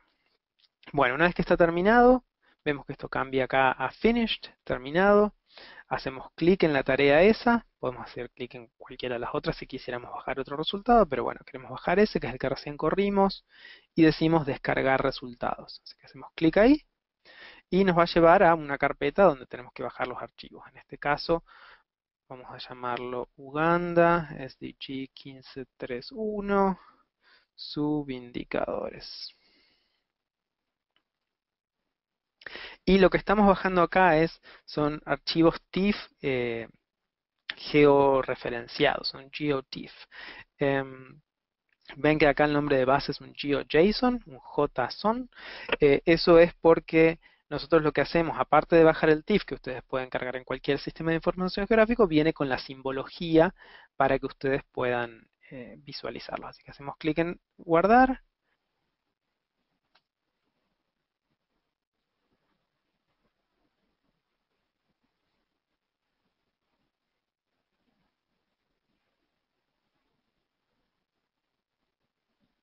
Y ahí cuando terminan de descargar, eh, se visualizan en la ventana. Em, bueno, acá tenemos todos los subindicadores. Ahora lo que nos falta es el último paso que es integrar todos estos subindicadores en eh, el mapa final del, del, SDG, del Objetivo de Desarrollo Sustentable. Así que lo que vamos a hacer es ir en la herramienta, hacemos clic en la calculadora de vuelta y el último paso que nos falta es, volvemos a como les comentaba al principio, siempre tenemos dos pasos. El primero es el paso número uno, que es el calcular los subindicadores, que son estos que tenemos acá. Carbono orgánico, cobertura de la tierra, estado de productividad, rendimiento y trayectoria. Ahora lo que tenemos que hacer es el paso número dos, que es calcular el, indicador final. Entonces lo que hacemos es, vamos a usar esta opción, la opción 1, que es calcular el indicador utilizando un límite. Entonces vamos a utilizar el límite de Uganda para hacer ese cálculo. Entonces hacemos clic acá y nos va a abrir esta ventana que identifica cada uno de los subindicadores por defecto. Entonces ya sabe que trayectoria, por ejemplo, es, ese, es el archivo, este raster que dice trajectory, el de rendimiento, el que dice performance, el de estado, el de cobertura y el de carbono orgánico. Así que acá no tienen que cambiar nada, lo dejan como está. Acá lo que tenemos que hacer es definir de vuelta cómo lo vamos a guardar, dónde lo vamos a guardar. Y en este caso, eh, en el paso anterior solo había un archivo raster que íbamos a guardar. En este caso vamos a guardar un archivo raster porque lo que va a hacer es eh, cortar el indicador eh, al área que definamos en el paso siguiente y después va a guardar un archivo Excel. Entonces lo que tenemos que hacer es, vamos a volver a esta carpeta y le vamos a decir que en este caso, en vez de subindicador, es el indicador porque va a ser el indicador final. decimos guardar. Y acá en Excel vamos a hacer lo mismo. Uganda, eh, SDG 1531, eh, indicador, vamos a llamar tabla. Perdón, tabla. Decimos que guarde y entonces nos va a guardar un archivo raster y un archivo eh, la tabla con los resultados. Le decimos siguiente y acá lo que vamos a definir es el área, cuál es el área para el que queremos que nos calcule ese indicador. En este caso de vuelta vamos a elegir todo el país, eh, pero si estuviéramos interesados en un área en particular, podemos, usando el resultado que bajamos, solo mostrar los resultados de un área en particular. Le decimos siguiente, le decimos el nombre de la tarea, y le decimos correr. Y este segundo paso, este lo corre en, la computadora de ustedes local, porque ya bajamos todos los, subindicadores. Entonces lo único que está haciendo ahora es la integración de esos subindicadores eh, en el indicador final y va a, a generar el cálculo de áreas en el archivo de Excel. Así que le decimos calcular. Ahí esta tarea va a tardar unos segundos dependiendo de eh, cuál es el, el procesamiento que tengan. Otra de las cosas que va a hacer, van a ver que este, los subindicadores están calculados para lo que se llama un bounding box, para el, cuadrado que delimita el shapefile, que nos, el área que nosotros elegimos. Eh, pero para calcular el área nos interesa realmente el área del polígono, la superficie del polígono, no solo el cuadrado que lo incluye. Entonces lo que vamos a hacer ahora es sí recortar ese archivo raster teniendo en cuenta los límites del, archivo que nosotros elegimos. Entonces ahora está haciendo esos tres pasos. Está integrando los tres todos los subindicadores en el indicador final, está haciendo el, recorte de la extensión del área de estudio y está haciendo el cálculo de las áreas en Excel. Eh, como vemos, tarda unos segundos en correr, pero si tuviéramos que correr estas tareas eh, una por una en un sistema de información geográfico y hacer los cálculos y calcular el área y recortar, esto tardaríamos horas en hacerlo, así que no es tanto el tiempo. Ya está casi listo, cuando llegue al 100% nos va a aparecer un mensaje indicando que la tarea está completa y ahí podemos ver los resultados. Ahí nos indica éxito en la tarea, el indicador está guardado en la, en la ubicación esa que elegimos le decimos aceptar y nos está mostrando, voy a apagar todos estos mapas, estos son todos los subindicadores que estábamos mostrando recién, pero para que ustedes vean que ahora el indicador final está recortado al área de estudio que nosotros elegimos, que es el límite de Uganda. Entonces este es el indicador 15.3.1 para Uganda, identificando con rojo las áreas donde durante el 2001 y el 2015 ha habido una degradación significativa, áreas en verde donde ha mejorado y áreas en eh, verde claro sin cambios. Ahora el último paso que nos falta es ver la tabla. Entonces vamos a esta carpeta que es donde guardamos el resultado. Este es el Excel que recién creamos. Hacemos doble clic.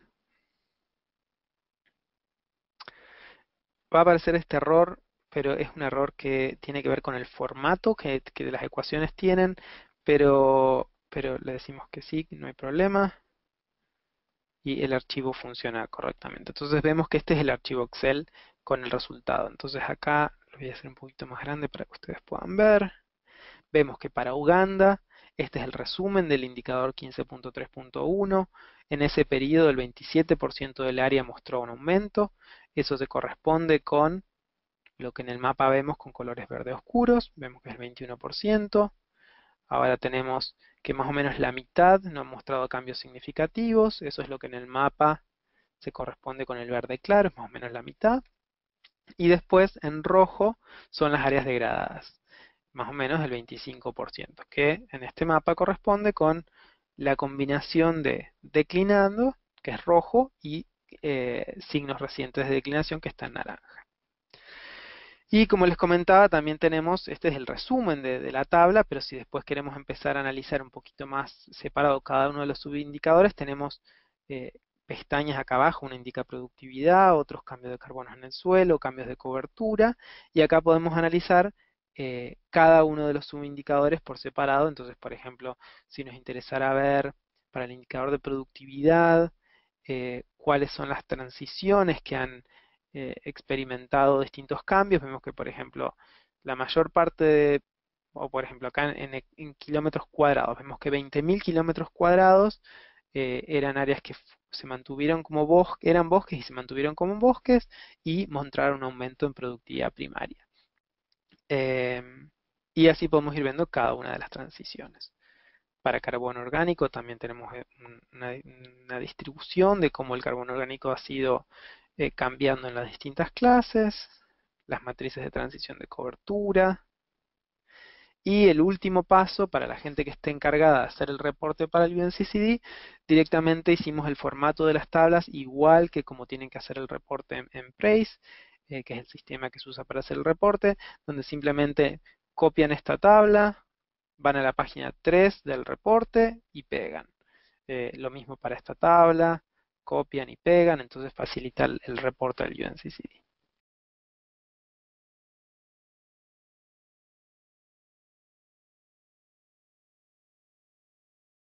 Queremos darle las gracias a Sacha, Alex, Mónica y Mariano por su presentación. Vamos a tener los correos electrónicos de ellos también disponibles por si acaso alguno de ustedes tiene alguna pregunta adicional que quiera hacerle luego que concluya el ejercicio. Ahora tenemos un poco de tiempo para hacer preguntas. Y si se le ocurre alguna otra pregunta después, no duden en enviarnos un correo. Aquí están nuestros correos y el de nuestra directora del programa, eh, Ana Prados, quien también puede ayudar con preguntas generales sobre ARCET. Nuevamente, para su referencia, aquí está la página web de ARCET. Muchas gracias por su participación. Les recordamos que nuestra próxima sesión será el 16 de julio. Hasta luego. Si tienen alguna pregunta, por favor, escriban en la sección de preguntas y nosotros trataremos de contestarlas una a una. Bueno, eh, muchas gracias a todos de vuelta por participar. Acá estamos mirando las preguntas que han ido escribiendo.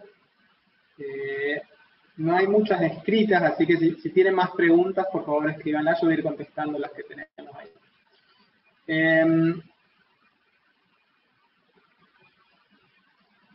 La primera pregunta es, bueno, ¿quién desarrolló el plugin de Transit Earth? Ese es un plugin que, como comentamos en la presentación, lo desarrollamos en, conservación internacional.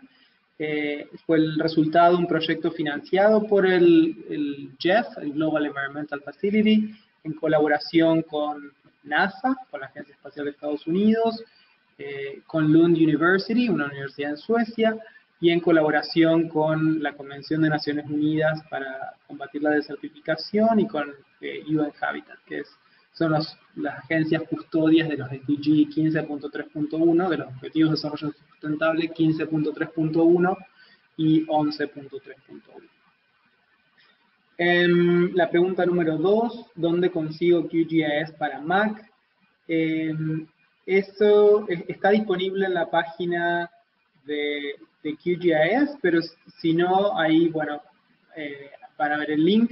Y si van a la página del proyecto, a la página de hay un sector que se llama eh, antes de instalar la caja de herramientas y ahí está explicado cómo instalar QGIS.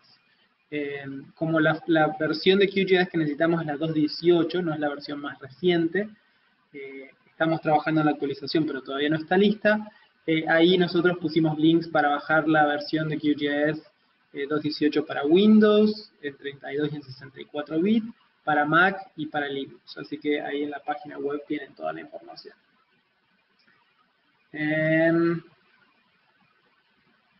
Pregunta número 3. ¿Cómo se pueden incorporar nuestros propios mapas de uso de la Tierra? Eh, eso es lo que vamos a cubrir la semana que viene. En el, seminario de la semana que viene, del 16, vamos a hablar un poco sobre eh, las funcionalidades que tiene Transit Earth para utilizar datos locales, datos propios que ustedes tengan de las distintas áreas. Eh, como nosotros mencionamos en la presentación, la herramienta tiene como dos fuentes principales de información. La primera son los que nosotros llamamos datos por defecto, que son los datos que nosotros proveemos, eh, y esos son datos que nosotros nos aseguramos que sean globales. Entonces, eh, tienen que estar, eh, cubrir toda la superficie terrestre para que cualquier persona pueda correr el análisis. Estos son los datos de cobertura terrestre de ISA, o de productividad de MODIS, o de carbono orgánico de suelo de ISRIC. Pero nosotros entendemos, porque eso ya lo sabemos, que estos datos globales no son los mejores cuando uno quiere hacer un análisis a nivel local. Entonces la herramienta tiene la función, la funcionalidad de utilizar, incorporar los datos locales que ustedes tengan. Así que ustedes pueden usar eh, un mapa de productividad que ustedes hayan generado con otro tipo de análisis, pueden estar utilizando Landsat o Sentinel o cualquier otro tipo de información, eh, mapas de cobertura de la tierra que ustedes hayan generado e incluso mapas de carbono orgánico. La semana que viene vamos a mostrar, eh, a, charlar un poco más sobre esto y vamos a ver en el tutorial cómo usar los mapas eh, de carbono, de, perdón, de cobertura, eh, el mapa inicial, el mapa final y cómo hacer el, análisis de degradación con datos de cobertura locales. y después, si están interesados y no se aguantan hasta la semana que viene, de vuelta, pueden ir a la página Earth y ahí hay, hay, hay tutoriales paso a paso, hay uno sobre cómo utilizar datos de productividad, hay uno sobre cómo utilizar datos de cobertura de la tierra y otro de carbono en el suelo, eh, los datos locales, los datos que ustedes quieran. Em, pregunta número 4. ¿A qué escala son los mapas de la Agencia Espacial Europea? Em, es muy buena pregunta. los distintos tipos de información tienen distintas resoluciones. Eh, los mapas de cobertura de la Agencia Espacial Europea, en particular, que es la pregunta, tienen un píxel de 300 metros. Eh, es generado a partir de una combinación de distintos sensores y tiene esa resolución. Los datos de productividad primaria, eh, utilizamos MODIS, que tiene un píxel de 250 metros, eso comienza en el año 2001 hasta la actualidad, pero si alguien está interesado en hacer un análisis antes del 2001, eh, en la herramienta también tenemos datos de un sensor que se llama eh, ADHRR, ADHRR, que eh, comenzó a funcionar en el año 1981. Entonces pueden hacer el análisis con este sensor también, que tiene un, píxel de 8 kilómetros. Así que como ven, tenemos más datos en el tiempo, pero de menor resolución espacial. Y después el último es el carbono orgánico, se tiene un píxel también de 250 metros. Eh, de vuelta, esos son los datos que, que la herramienta provee, digamos, pero ustedes pueden utilizar eh, la herramienta con los datos locales que ustedes tengan, con la resolución que ustedes tengan. Em, pregunta número 5. ¿Qué tipos de imágenes satelitales utilizan? Se pueden mejorar los píxeles usando Sentinel-2. Eh, bueno, en medio que respondí un poco esa pregunta con la 4, hay distintos tipos de, de, sensores. Por lo general nosotros no utilizamos la, herramienta utiliza productos derivados de imágenes satelitales, no usa las imágenes en sí. Entonces utilizamos NDVI eh, para calcular productividad o utilizamos mapas de cobertura. Eh, entonces la herramienta no, no es que permitiría utilizar Sentinel-2 de por sí, pero sí permitiría, si ustedes usan Sentinel-2 para hacer mapas de cobertura, por ejemplo, sí pueden utilizar esos productos en la herramienta. Eh, ¿A qué escala están los resultados del geoproceso? Bueno, esto es, creo que también me fui respondiéndolo, eh, es la combinación de las resoluciones de los distintos productos que, se están usando. Y acá eh, la decisión que tomamos fue que el resultado final siempre tenga la resolución más fina de cualquiera de los, de los de los datos de entrada en el análisis, digamos. Y, lo hicimos como para asegurarnos que no estamos perdiendo información a lo largo del proceso.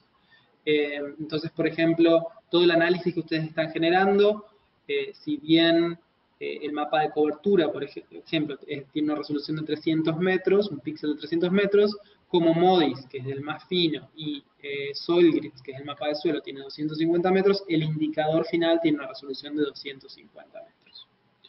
Eh, vamos a ver la semana que viene que cuando combinamos estos datos con un mapa de cobertura de 30 metros, por ejemplo, va a hacer que el indicador final tenga una resolución de 30 metros. Así que eso va a ir dependiendo un poco de las combinaciones que ustedes hagan eh, con los datos. Em, pregunta número 7. ¿Se puede trabajar con otro tipo de imágenes satelitales? Eh, de vuelta, en este momento, lo que ustedes podrían utilizar son productos generados a través de otras imágenes satelitales.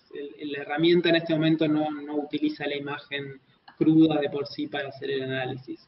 Estamos trabajando en, eh, ahora estamos por comenzar una segunda fase de este proyecto, del desarrollo de la herramienta, donde sí vamos a empezar a trabajar un poco más con las imágenes originales eh, de Landsat y de Sentinel.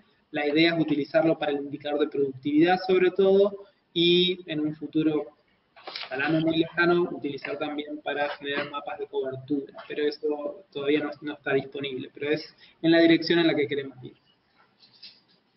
Eh, pregunta número 8. ¿Cómo han considerado la validación de los resultados obtenidos por los indicadores y el proceso y el porciento de error de las estimaciones?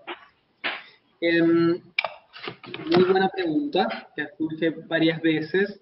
Em, en realidad esta herramienta e-, es un poco difícil cuando uno trata de definir el error, por ejemplo, de un análisis de lo que estamos haciendo. Nosotros lo que tenemos es sí estimaciones de los errores eh, y de la variabilidad de cada uno de los productos. Por ejemplo, los mapas de cobertura tienen un error asociado, el mapa de, carbono crónico en el suelo es el resultado de modelación, entonces también tiene un error asociado. Eh, pero en, esta, en este análisis lo que estamos haciendo es integrar estos resultados eh, siguiendo unos ciertos criterios definidos, en este caso por la convención, para hacer el análisis de degradación. eh, y el, resultado final es que tiene que ser evaluado en función a, ese criterio, en función a si las áreas definidas son degradación o no, ya que estamos combinando cambios de productividad primaria, con cambios en el carbono en el suelo, con cambios en la cobertura. Entonces no, no es que podemos generar un error, un número de error que, que, se pueda asociar a este proceso. Lo que sí nosotros siempre hacemos, eh, y es lo mismo que hicimos con en los talleres de capacitación que hicimos con las Naciones Unidas y cómo funciona el proceso, es todos los resultados tienen que ser después validados por eh, gente que, de cada país que, esté, eh, que sea experta, digamos, en el tema. Eh, reconocemos que la herramienta en este momento es una herramienta muy, lo que en inglés le dicen muy top-down, muy de arriba para abajo. Es, básicamente estamos confiando en que lo que dicen los, los productos satelitales es, es, lo que realmente está pasando en el campo y entendemos que no es así. Así que en esta segunda fase del proyecto estamos incorporando funcionalidades para no realizar una validación en el sentido de proveer un error, pero sí proveer eh, funcionalidades para integrar los datos estos de, sensores eh, satelitales con datos de campo. Entonces vamos a estar trabajando con una aplicación móvil que se llama LandPKS, eh, que permite realizar recolección de datos a campo. Entonces con esa aplicación vamos a poder ir al campo, eh, identificar la condición de la tierra, tipos de manejo del suelo, cómo está eh, como la evaluación que hace, hacemos cuando vamos a campo, y después obtener también los resultados del análisis de Translator a través de la aplicación y utilizarla para recolectar datos para después interpretar lo que vemos en los mapas. Así que la idea es hacer esa combinación eh, para tener un poco más de información contextual para interpretar los resultados. Eh, pregunta número 9. ¿Es posible obtener la grabación de esta sesión? Sí.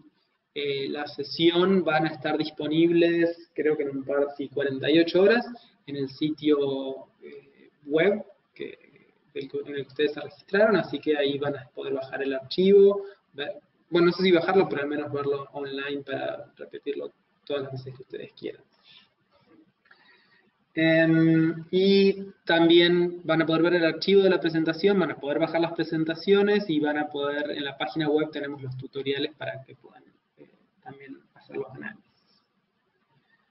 Pregunta número 10.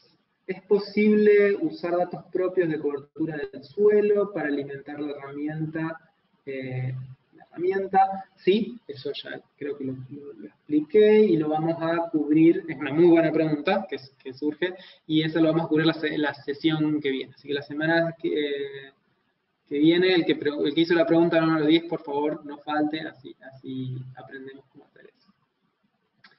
¿Cuál es la resolución del píxel del geotiff resultante? De vuelta, eso medio que lo, expliqué, es siempre la resolución del píxel eh, la resolución del, de los datos más finos. O sea, si combinamos productos de distinta resolución, siempre vamos a usar el, que tenga un píxel más chico.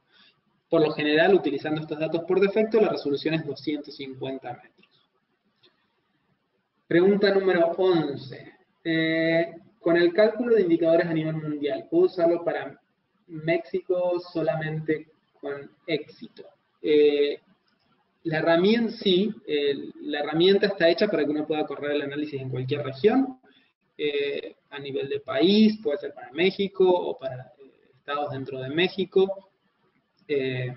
Cuanto más chica es el área de estudio, digamos, más, importante es utilizar datos locales, ya que, son más relevantes, datos con mejor resolución espacial y más con mayor precisión. Pero sí, el análisis se puede correr en México, en cualquier país y, en cualquier región.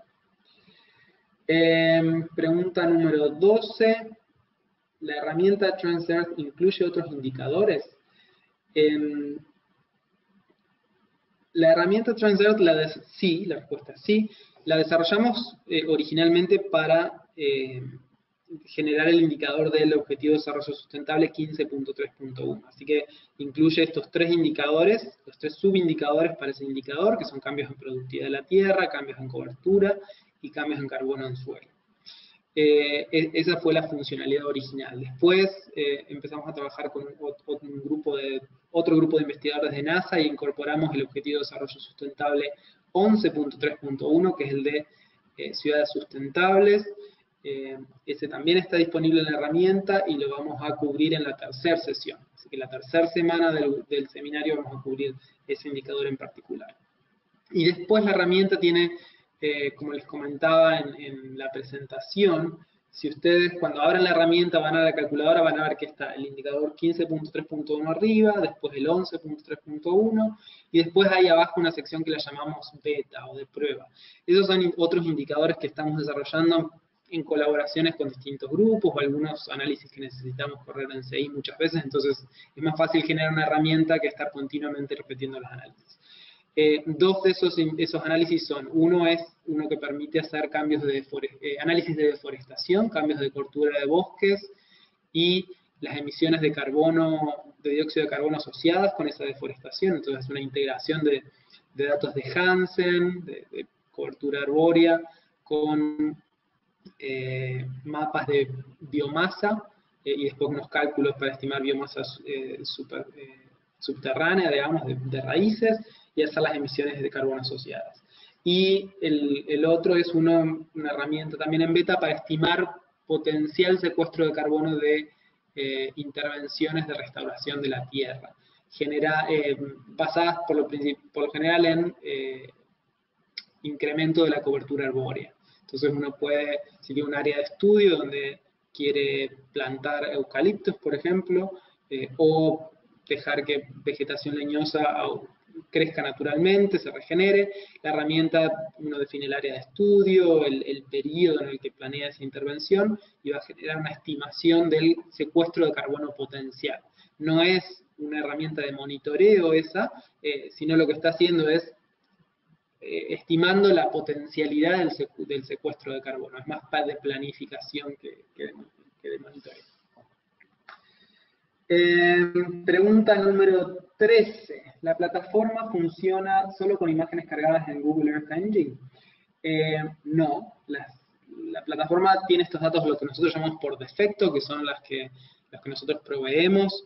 Eh, y ahí la herramienta tiene no solo los datos de estos de cobertura, de carbono que yo les comentaba, o de, productividad primaria, sino que también hay datos climáticos. Por ejemplo, la herramienta permite hacer correcciones por, eh, por clima, por precipitaciones, por eh, evapotranspiración, por humedad en el suelo, porque en algunas regiones los cambios de productividad no están eh, solamente asociados a cambios de manejo de la tierra, que es lo que nosotros por lo general nos referimos como degradación, sino a cambios en el clima. Entonces es importante incorporar esos análisis eh, para identificar degradación. Así que la herramienta tiene todos estos datos ya precargados, digamos, que, son datos que nosotros cargamos en Google Earth Engine, eh, otros que Google Engine hace disponibles, y después está la opción, como les comentaba, de usar datos que ustedes tengan, eh, y eso lo vamos a cubrir la semana siguiente. Un punto clave en, el uso de datos locales es que esos datos nunca dejan su computadora. Esos datos, la herramienta los corre localmente. Así que la velocidad en la que va a correr ese análisis depende de la capacidad de procesamiento de su computadora, pero es importante que no se preocupen de que cuando corre un análisis eh, con datos locales no es que están enviándole esa información a nadie, sino están corriendo esos análisis localmente. Eso lo hicimos porque eh, para mucha gente era importante mantener eh, el control de, sus datos. Em, pregunta número 14. Les voy a comentar algo. Cuando estábamos a punto de terminar la sesión, estábamos chateando con, con Brooke, y Juan, y Juan, y ellos estaban preocupados, les decía que no había preguntas. Ahora no, acaban de, llegar las preguntas.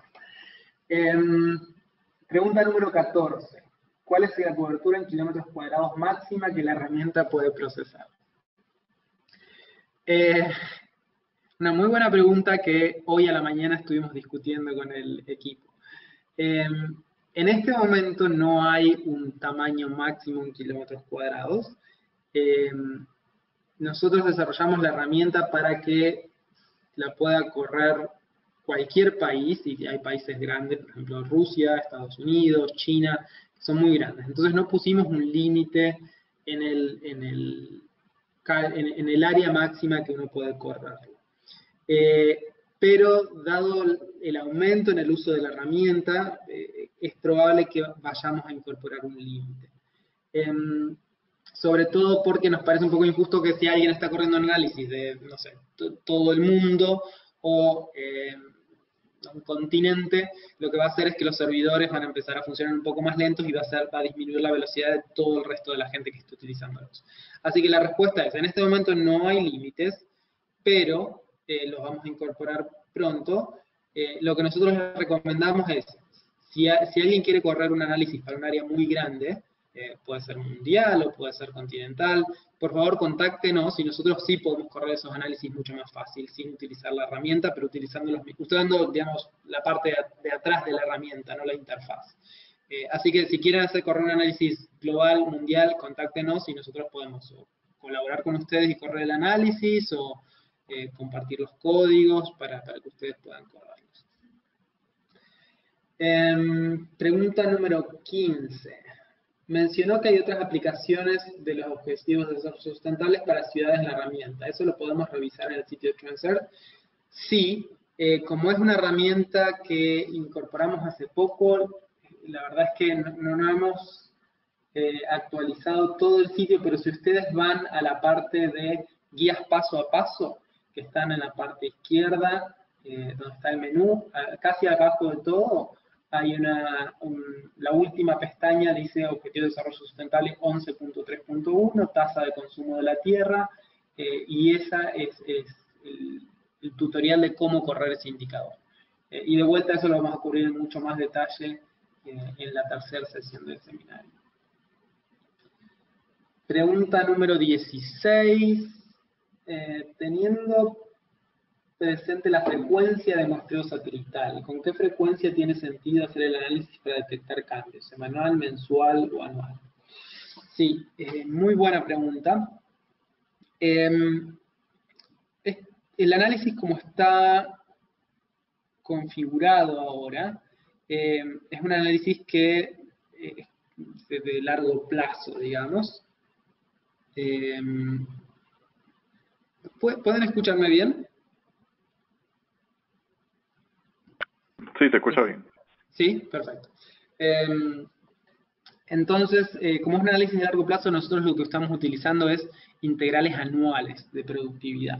Así que el, paso en el que se, el, más, digamos, la mínima unidad de tiempo que tiene que pasar es un año para poder eh, calcular estas productividades, estas integrales anuales de productividad.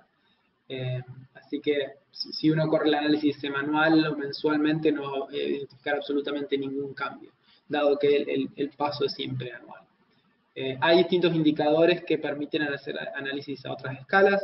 Eh, esos por ahora no están disponibles. Son eh, sí algunos que estamos trabajando con algunos colaboradores para incorporar, algunos BIFAST, por ejemplo, o algunos otros de estos análisis de, cambios de tendencia que requieren una frecuencia mayor pero en este momento son eh, anuales los datos que estamos utilizando. Son resúmenes de todo lo que ocurrió a lo largo del año. Eh, ¿Cuál es la escala mínima de representación de los mapas y cuáles son las recomendaciones? Eh, como les comentaba, la, resolución depende de qué, cuál, cuáles son los datos que están utilizando. con los datos de 250 metros de resolución, eh, por lo general nosotros corremos estos análisis a nivel de país, entonces eh, sí, si ustedes corren esto en un área muy chica, de un par de hectáreas, eh, el resultado que van a tener va a ser un par de píxeles, así que no tiene mucho sentido. Yo diría que esto, la herramienta está desarrollada para correr a nivel de provincia o país. a nivel general, digamos, depende de una provincia en, en Rusia va a tener otro tamaño que una provincia en un país europeo, pero a nivel general, a nivel de estado, eh, es, un nivel apropiado para correr. Em, pregunta número 18. ¿Qué pasa si en mi zona de estudio tengo áreas naturales protegidas o conservación? La matriz reconoce esos parámetros. Em, no, en este momento la, matriz y, los datos lo que están haciendo es ver cuál es la cobertura y cuál es el cambio que ocurre en esa área. Eh, no hay en este momento ninguna manera de identificar, digamos, áreas con distintos tipos de manejo. En este caso, el área protegida tendría un manejo de conservación que será distinto al, de áreas vecinas. Eh, si lo que les interesara es, hacer el análisis de áreas, solo áreas protegidas o áreas no protegidas. Eh, la herramienta, recuerden que ustedes pueden utilizar su propio shapefile para correr el análisis, su propia polígono de área de estudio.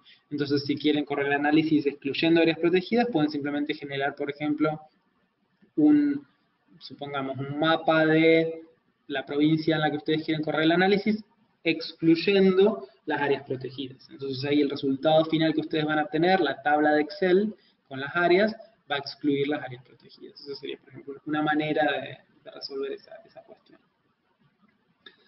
Em, pregunta número 19. ¿A qué nivel o escala permite la herramienta hacer el análisis? Esa la hemos contestado. Para generar resultados debo descargar yo las imágenes de satélite o a través de la herramienta. Em, como les comentaba, como ustedes vieron al, final de, la presentación, los pasos que yo seguí, que fueron 10 minutos, eso es simplemente lo que tienen que hacer. Eh, la herramienta lo que hace es, eh, la diseñamos de, manera tal que ustedes eh, tengan que minimizar el acceso a Internet, porque nos parecía importante en muchas regiones en las que nosotros trabajamos, el acceso a Internet es limitado, entonces nos parecía que la mejor manera es utilizar este plugin, la herramienta en, QGIS, que lo que hace es define los parámetros, envíe esos parámetros al servidor, el análisis se corre en la nube y ustedes descargan simplemente los resultados. Entonces no tienen que hacer descarga de, las imágenes previas o de, ningún tipo de, dato intermedio.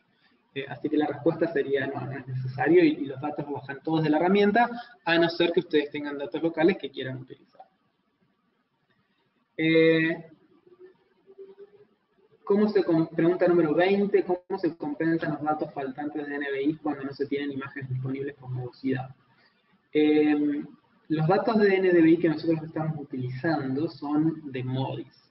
Y MODIS eh, cubre cada punto de, la superficie terrestre está cubierto por dos, o sea, hay dos satélites que pasan, uno cada vez, uno por vez, eh, o sea, uno por, una vez por día. Uy, Dios, se me está trabando la lengua. Em, y estos productos después son integrados. Eh, Modis, eh, el, grupo de trabajo de Modis los integra en productos quincenales. Entonces ellos se encargan de hacer ese proceso de, de limpieza, de remover nubes, de remover sombras, remover humo, y generar un producto que es un compuesto de estos 15 días. Eh, dada la, gran cantidad de, visitas, como tenemos dos imágenes por día a lo largo de 15 días, eh, es, muy probable que eh, alguna imagen disponible va a haber. Es cierto que hay algunos sectores de, la Tierra donde no hay información disponible y para esos datos simplemente los, identificamos como sin datos. pero son, son muy pocas las áreas. Por lo general, Modis hace un muy buen trabajo a, de obtener información útil eh, para áreas con mucha eh, nubosidad. Por eso es que estos análisis se corren con esta resolución que es un poco más gruesa. Nosotros estamos, creo que, muy acostumbrados a ver las imágenes, eh, estas de muy alta resolución que vemos en Google o que vemos en, distintos portales de Internet, pero esas imágenes, la, limitada frecuencia temporal es que lo que hace que no sean muy útiles para este tipo de análisis. por ejemplo, los casos como áreas con nubosidad elevada si, se captura una vez una imagen al año y hay nubes, no hay mucho para hacer. En este caso tenemos 700 eh, imágenes al año, entonces es probable que algunas sin nubes em, pregunta número 21, esa creo que ya la habíamos eh, respondido, era anual. Pregunta número 22, ¿es posible generar mapas propios de carbono, por ejemplo, de Invest o mediante regresiones y alimentar la herramienta Trans? Sí, eh, es posible. Eh, es los datos de cómo utilizar los datos de carbono, eso no lo vamos a alcanzar a cubrir, pero sí está, como le comentaba, en, el tutorial, en las páginas web, en el sector tutoriales, hay uno específicamente que se llama cómo utilizar datos de carbono locales, así que ahí les, les va a mostrar. Y justamente si pueden ser mapas generados a través de Invest o a través de simplemente recolectar datos a campo y hacer una interpolación para generar un raster. Em, pregunta número 23. ¿Qué pasa si en mi zona de estudio tengo áreas naturales protegidas? Creo que esa ya la habíamos contestado. Eh, en cuanto a los datos de carbono, ¿es posible obtener ese dato en forma cuantitativa y no cualitativa? Eh, sí, como les mostraba en, el archivo Excel, el, producto final del análisis es el mapa, eh, que muestra el, mapa, digamos, con, las áreas, y el archivo Excel cuantifica eso en, cuanto a stocks. Entonces, van a tener los resultados ahí en toneladas de carbono para el área que ustedes definieron. Por eso es que es tan importante utilizar un área eh, y hacer ese recorte final al área que ustedes definieron, es porque la cuantificación está ahí. Así que van a tener ahí los resultados en, área, en hectáreas, kilómetros cuadrados y también en toneladas de carbono para hacer los reportes. Em, pregunta número 25. ¿Cómo se tomaría la degradación cuando se da un reemplazo de pastizal por forestaciones comerciales, considerando que el NDI será mayor? En ese caso tendría mayor peso los indicadores de cobertura y carbono orgánico en el suelo, de forma de definir esa área como roja. Eh, muy buena pregunta y, sí, puede ser. Eh, la respuesta está en, en el criterio de este de one out, all out, uno afuera, todos afuera. La, idea es que si uno de estos indicadores indica un píxel, un área en particular como degradada, entonces el indicador final va a indicarlo como degradado, como rojo. Eh, en este ejemplo en particular, supongamos, eh, como bien dice la, persona que hizo la pregunta, productividad aumentará si cambiamos un pastizal a, un a una plantación eh, de árboles. Entonces ese indicador va a mostrar un aumento está bien. Eh, el indicador de carbono orgánico en el suelo, ese dependerá de las condiciones locales, como, como se aumentará o no. Por lo general, eh, utilizando los parámetros del IPCC, que son los que utilizamos para definir estas transiciones, cambios entre pastizales y bosques no generan eh, cambios de carbono en el suelo, así que eso no lo detectaría utilizando los, los patrones, los coeficientes por defecto el que tendría que detectarlo es el, de cambio de cobertura.